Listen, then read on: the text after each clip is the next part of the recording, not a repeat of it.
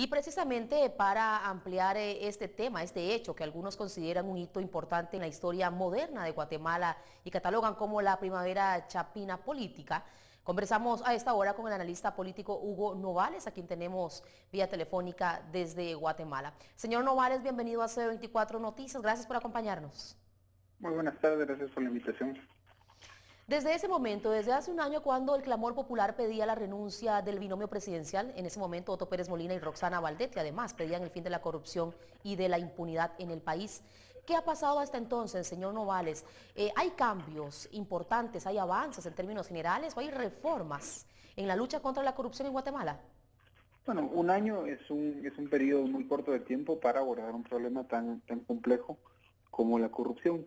Sin embargo, me parece que sí hay cambios eh, importantes.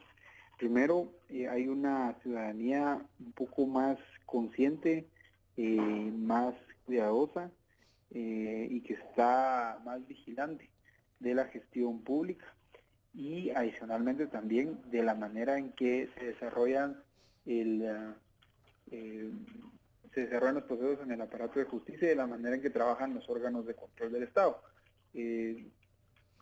Incluso vemos situaciones en donde eh, procesos de antejuicio, procesos de procesos judiciales que no prosperaban eh, hace un año, ahora sí, sí prosperan o sí tienen éxito precisamente porque eh, los operadores de justicia, las autoridades públicas se sienten más vigilados. Por el otro lado, los los diputados, los ministros, la, digamos, la, los tomadores de decisión del país también son un poco más cautos en la manera en que desarrollan su actividad política y especialmente su gestión pública debido a que perciben una situación de incertidumbre en donde cosas que antes se podían hacer con relativa inmunidad ahora ya no son ya no son posibles. Eso digamos es un cambio generalizado de actitud hacia la corrupción que puede no ser permanente, pero que por lo menos está vigente en este momento. Eh, y el segundo cambio importante es que hay un proceso de reforma institucional que se está desarrollando. Eh, hay una reforma constitucional en materia de justicia, de fortalecimiento de las instituciones judiciales para fortalecer el control y la independencia de estas, que se está desarrollando actualmente, eh, que todavía pues, tiene un, camino largo por recorrer, pero que, pero que está ya en proceso y algo que nos parece muy importante es la reforma a la ley electoral y de partidos políticos que se aprobó recientemente, en donde se incrementan los controles para, para, el, financiamiento privado de los partidos políticos y se, se dota a los partidos de alguna provisión de financiamiento público para reducir la influencia de los financistas externos en las decisiones de los partidos y las decisiones de los funcionarios públicos.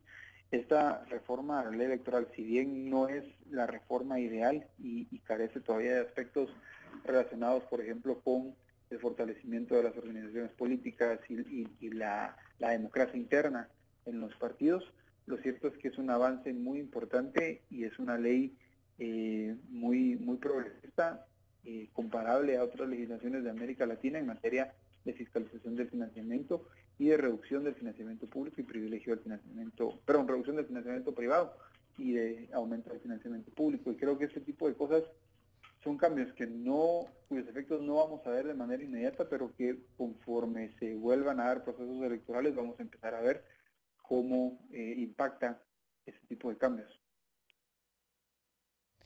Muy bien. Señor eh, Novales, un año se cumple desde la renuncia del presidente de la República en ese momento de Guatemala, Otto Pérez Molina, varios meses lleva ya el exmandatario además en prisión preventiva por presunta corrupción. ¿Cómo ha sido este proceso de Otto Pérez Molina, señor Novales? ¿Ha transcurrido con toda normalidad? ¿Qué aspectos importantes se podrían rescatar de todo este proceso en su contra?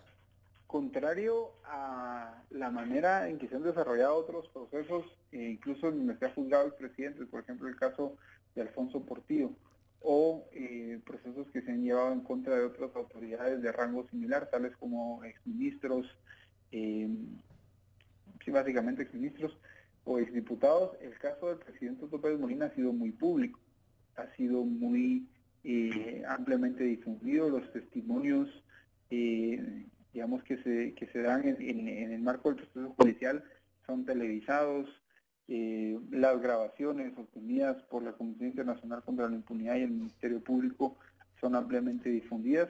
Entonces, este procedimiento, si bien todavía está pendiente de llegar a una conclusión y si bien no puede establecerse todavía eh, en definitiva la culpabilidad del expresidente, sí ha servido como un mensaje para la, para la ciudadanía y también para la clase política de que eh, la impunidad ya no es la norma en Guatemala.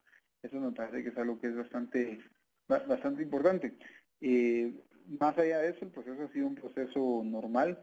Posiblemente algo que ha cambiado es que dado que el juicio ha sido muy visible, los operadores de justicia han, empezado a tomar un rol protagónico eh, en la opinión pública, no necesariamente como emisores de opinión, pero sí como, como referentes. Eh, el juez Galvez, el juez que lleva el caso eh, del expresidente, se ha convertido en una especie de celebridad local, porque los ciudadanos reconocen el buen desempeño que está teniendo. De igual manera, la fiscal general, la licenciada Telma Aldana, pues es también reconocida como una persona que tenía una gestión pública eh, distinta eh, y mejor que eh, gestiones anteriores. Novales, muchas gracias por acompañarnos. Que tenga bonita tarde. Hasta pronto. por la invitación, igualmente.